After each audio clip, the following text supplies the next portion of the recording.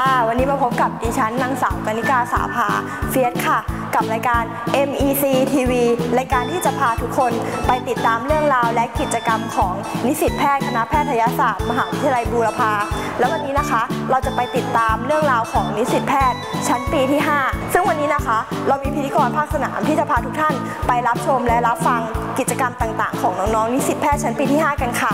เชิญท่านผู้ชมไปดูกันเลยค่ะ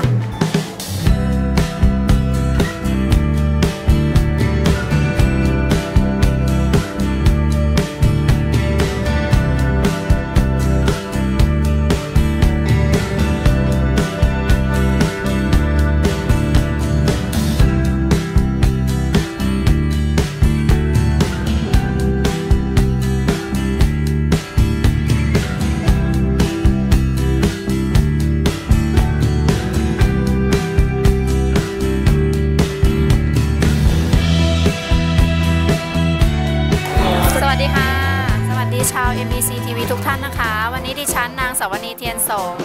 กับผมนะครับพี่เบลนะครับธีรยุทธ์หมันลีครับ วันนี้เราสองคนได้รับมอบหมายให้มาเป็นพิธีกรภาคสนามณโรงเรียนเทศบาลวราชนิยมธรรมนะคะ เดี๋ยววันนี้เรามาตามติดกันว่าเราทำกิจกรรมอะไรบ้างค่ะพี่เบลครับผมก็เราก็มาตั้งแต่เช้าเลยนะครับกับมาพร้อมกับน้องๆนิสิตแพทย์ชั้นปีที่5นะครับคณะแพทยศาสตร์มหาวิทยาลัยบุรพานะครับ ก็เริ่มด้วยช่วงเช้านะครับเป็นโครงการเกี่ยวกับอ่าเรื่องเพศศึกษานะครับกับชื่อโครงการที่ว่าท้องไม่พร้อมยอมไม่ได้นะครับ ส่วนช่วงบ่ายเป็นกิจกรรมนิวเจนไม่เล่นยานะคะ ส่วนกิจกรรมในภาคบ่ายนี้มีอะไรบ้างครับ ชื่อโครงการว่าอะไรครับพี่เอ๋ชื่อโครงการว่านิวเจนไม่เล่นยาค่ะ วันนี้น้องนิสิตแพทย์ของเราจะนำความรู้เกี่ยวกับการปฏิเสธ เกี่ยวกับการปฏิเสธ การใช้ยาเสพติดใช่ไหมครับพี่เอ๋ใช่ค่ะใช่ค่ะอ่า แล้วก็แล้วก็จะมีการให้น้องนักเรียนวัดราชนิยมธรรมเนี่ยเข้าร่วมกิจกรรม โดยการออกมาแสดงละครการปฏิเสธ การมีเพศสัมพันธ์การใช้ยาเสพติดอ่าพี่เอกครับอันนี้เป็นรายเป็นเป็นกิจกรรมที่เกี่ยวกับในรายวิชาอะไรของศูนย์แพทยศาสตร์ครับ กิจกรรมนี้เป็นเป็นกิจกรรมที่เกี่ยวกับรายวิชาการบริบาลสุขภาพชุมชนค่ะเหมือนกับการให้ความรู้เกี่ยวกับชุมชนของเราค่ะเอางี้ดีกว่านะครับ พี่เอกเราพูดแล้วแบบผู้ชมอาจจะไม่เห็นภาพว่าน้องๆนิสิตแพทย์ของเราทำอะไรกันบ้างค่ะเราพาท่านผู้ชมไปชมดีกว่าไหมค่ะได้ค่ะเดี๋ยวเราไปชมกิจกรรมแต่ละฐานพร้อมๆกันเลยนะคะเชิญค่ะ เราก็อยู่กับน้องปอปานะครับนิสิตแพทย์ชั้นปีที่ 5 นะครับ วันนี้เราจะพามาชมว่าน้องๆก็จัดกิจกรรมอะไรบ้างนะครับ มาพูดคุยกับน้องปอปาได้เลยนะครับ ก็กิจกรรมของเราในช่วงเช้านี้นะคะ ก็จะเป็นชื่อโครงการท้องไม่พร้อมยอมไม่ได้นะคะ ก็จะมีการจัดกิจกรรมเป็นลักษณะเป็น 5 ฐานย่อยๆนะคะ โดยที่ฐานแรกเนี่ยก็จะเป็นเกี่ยวกับกิจกรรมการท้องแล้วก็แท้งค่ะ ก็จะให้ความรู้เกี่ยวกับว่าการตั้งครรภ์เนี่ยจะมีลักษณะอย่างไรนะคะ แล้วก็การแท้งแล้วก็ผลกระทบของการแท้งที่เกิดขึ้นเนี่ยจะเกิดอะไรขึ้นมาบ้างค่ะแล้วก็ฐานต่อไปนะคะ ก็จะเป็นฐานเกี่ยวกับอนามัยในวัยรุ่นค่ะ ก็จะสอนเกี่ยวกับการ ล้างอวัยวะเพศ หรือว่าการรู้จักการเจริญเติบโตของทางเพศของน้องๆค่ะ ฐานต่อๆไปนะคะ ก็จะเป็นฐานเกี่ยวกับการควบคุมกำเนิดอย่างถูกวิธีค่ะ ชื่อว่าฐานวัยใสใส่ใจการคุมกำเนิดค่ะ ฐานนี้นะคะก็จะมีการใช้ยาคุมกำเนิดหลาย ๆ แบบนะคะ ชนิดแบบแผ่นแบบฝัง หรือว่าเป็นแบบฉีดยาก็ได้ค่ะ แล้วก็จะมีการให้ความรู้กับน้องๆค่ะแล้วก็ฐานต่อๆไปนะคะ ก็จะเป็นฐานที่ชื่อว่า yes or no เออรักเออเรอค่ะ ก็จะเป็นการสอนให้น้องๆนะคะ มีทักษะการปฏิเสธ อย่างมีทักษะค่ะ แล้วก็ฐานสุดท้ายนะคะ จะเป็นฐานเกี่ยวกับยืดอกพกถุงค่ะ ฐานนี้นะคะก็จะมีอุปกรณ์ที่จะให้น้องๆได้ดูนะคะ ที่เห็นอย่างเช่น ตัวอย่างของถุงยางอนามัยที่ถูกแล้วก็ที่ผิดค่ะเป็นต้นค่ะ แล้วก็จะมีการสอนให้น้องๆนะคะ รู้จักการวัดขนาดแล้วก็การใส่ถุงยางอนามัยอย่างถูกต้องค่ะ สำหรับกิจกรรมในวันนี้ได้รับผลการตอบรับจากน้องๆในโรงเรียนเป็นยังไงบ้างครับ ถือว่าดีมากๆเลยค่ะ น้องๆ บอกว่าทุกๆฐานนะคะ มีความสนุก แล้วก็เมื่อสอบถามว่าแต่ละฐานนะน้องๆ ได้อะไรบ้างน้องๆ ก็สามารถพูดภาพรวมได้อย่างดีค่ะ ครับก็ได้รับทราบกันไปแล้วนะครับว่าวันนี้น้องๆนิสิตแพทย์ชั้นปีที่5นะครับมาจัดกิจกรรมอะไรกันบ้างนะครับ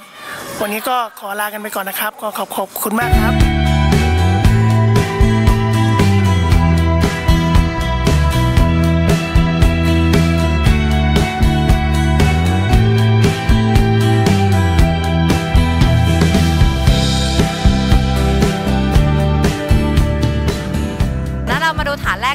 ว่าฐานแรกที่น้องๆ จัดกิจกรรมนี่น้องให้ความรู้เกี่ยวกับอะไรบ้างคะสำหรับฐานนี้ ครับก็ฐานแรกเลยก็เป็นอ่อฐานชื่อว่าฐานสโมกนะครับก็จะเป็นความรู้เรื่องเกี่ยวกับบุหรี่ครับว่าบุหรี่เนี่ยคืออะไรมีรูปแบบอะไรบ้างนะครับ แล้วก็เป็นพวกโทษของมัน แล้วก็อ่าว่าเป็นส่งผลต่ออวัยวะอะไรบ้างครับ แล้วก็อ่าตอนปิดท้ายกิจกรรมเราก็จะมีเกมให้เล่นนะครับว่าอ่าเป็นเกมเดาว่าคนคนนี้กำลังสูบ บุหรี่ประเภทไหนอยู่ แล้วก็มีโทษอะไรบ้างครับ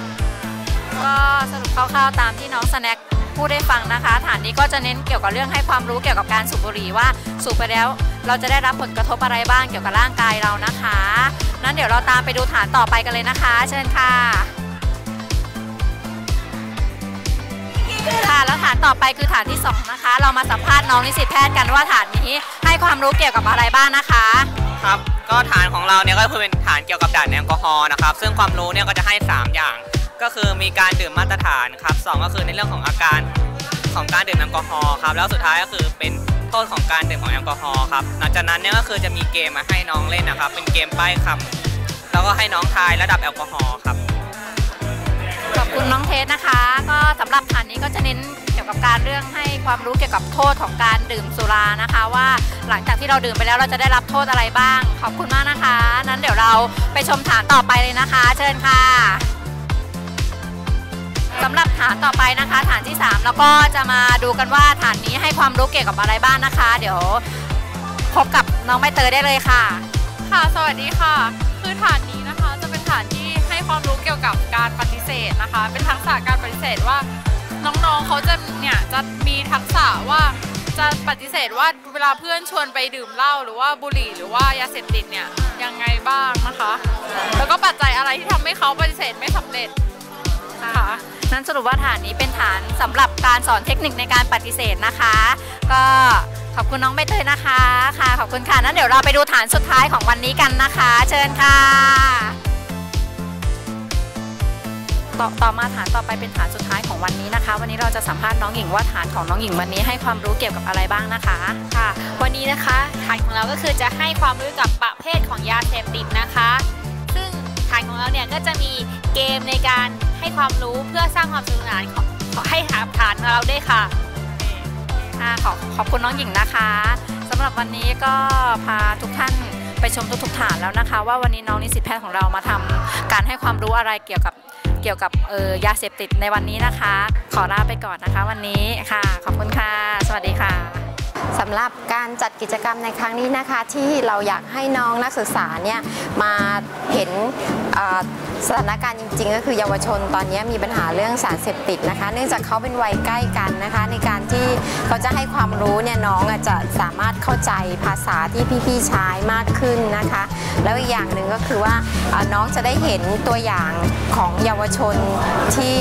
อยากรู้อยากลองหรือว่ามีประสบการณ์อะไรที่พี่เขาเคยผ่านมาก่อนนะคะ เป็นการแลกเปลี่ยนเรียนรู้ระหว่างพี่กับน้องนะคะ นอกจากนี้แล้วเนี่ยนักศึกษาแพทย์ยังจะเป็นไอดอลให้น้องๆด้วยนะคะ เพราะน้องๆในอีก 2-3 ปีข้างหน้า ก็จะต้องเอ็นทานนะคะ หลายๆ คนอาจจะมีความฝันเหมือนพี่ๆที่อยากจะเป็น มอเหมือนพี่ๆนะคะ ซึ่งพี่ๆก็เคยผ่านประสบการณ์การเป็นวัยรุ่นที่อยากรู้อยากลองมาก่อน เพราะนั้นความที่เขาอายุต่างกันไม่มากนะคะ แล้วมีประสบการณ์การเรียนรู้การใช้ชีวิตที่ใกล้เคียงกันนะคะ ในการที่จะสอนหรือจะให้ความรู้เนี่ยพี่เขาก็จะสามารถให้แล้วก็น้องก็จะรับได้ง่ายขึ้นนะคะ ซึ่งเราก็เชื่อว่าน้องจะชอบกิจกรรมที่เรานำมาให้ในครั้งนี้ ซึ่งมันจะไม่หนักมากนะคะ ไม่ใช่รู้อย่างเดียวนะคะ เราก็จะให้น้องมีการสนุกสนานร่วมมีส่วนร่วมในการแสดงความคิดเห็นหรือว่ามีส่วนร่วมในการจัดการเรียนการสอนของเขาเองว่าเขาชอบแบบไหนเขาอยากได้อะไรนะคะแล้วก็จะมีหลากหลายให้น้องเขาได้เลือกอะค่ะค่ะ แล้วตอนนี้นะคะเราก็มาอยู่กับผู้เข้าร่วมโครงการ New Gen ไม่เล่นยานะคะ ก็เดี๋ยวเราก็จะมาถามน้องๆกันนะคะ ว่าน้องๆเนี่ยมีความประทับใจในฐานย่อยอันไหนบ้างค่ะค่ะ ฉันนะคะ นางสาวชลดามีสงค่ะ ก็อยู่ชั้นมัธยมศึกษาปีที่4ทับหนึ่งค่ะ ก็ชอบฐานสโมกนะคะได้เรียนรู้เกี่ยวกับพวกประเภทบุหรี่ค่ะ ว่ามีอะไรบ้างนะคะ มีกี่ชนิดมีอะไรอย่างเงี้ยค่ะ ค่ะดิฉันนางสาวกันฟ้าสมจิตค่ะ ค่ะ ส่วนตัวดิฉันนะคะ ชอบฐานจัดเซโนค่ะ เพราะว่าได้เรียนรู้การปฏิเสธ การปฏิเสธแบบอย่างไรดี แบบรักษาน้ำใจแบบจริงจังหรือว่าแบบบอกลาเลื่อนจากไปค่ะค่ะค่ะดิฉันนางสาวเมวดีใจใหญ่นะคะ เรียนอยู่ระดับชั้นม .4 ทับ1ค่ะสำหรับตัวดิฉันก็ชอบฐานขี้ปิงปองค่ะ ได้รู้ประเภทว่าสารเสพติดมีกี่ประเภท แล้วก็ได้รู้อาการของสารเสพติดต่างๆค่ะ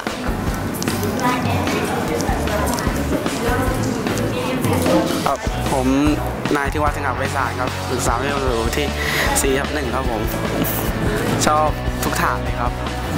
ได้ประโยชน์ต่างๆ ได้เกี่ยวกับรู้เกี่ยวกับสารเสพติดทุกชนิดโทษของสารเสพติดต่างๆ ที่มีผลต่อระบบประสาทหรือระบบทางร่างกายต่างๆครับผม ครับผมชื่อนายรัชบุญคำพันธ์นะครับ อยู่ชั้นมัธยมศึกษาปีที่4ทับหนึ่งนะครับ ก็ส่วนผมก็ประทับใจใน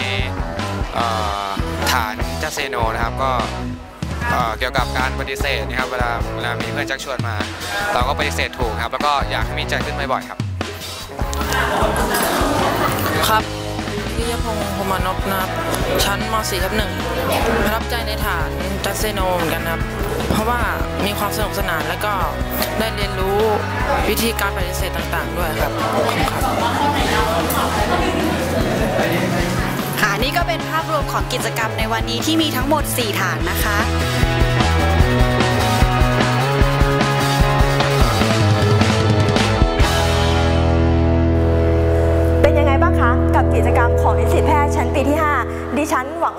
านผู้ชมคงได้ความรู้ไม่มากก็น้อย แล้วเทปต่อไปกับรายการ MEC TV จะพาท่านผู้ชมไปติดตามนิสิตแพทย์ชั้นปีอะไรที่ไหนอย่างไร เชิญติดตามได้ที่ช่อง YouTube Channel ที่ขึ้นข้างล่างนี้เลยค่ะ และวันนี้ดิฉันต้องขอลาไปก่อน สวัสดีค่ะ